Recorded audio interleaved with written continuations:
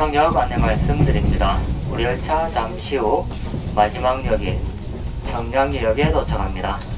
오늘도 코레일을 이용해 주신 고객님께 감사드립니다. 네, 코레일은 고객님의 행복한 여행을 위해 최선을 다하겠습니다. 안녕히 가십시오. 고맙습니다.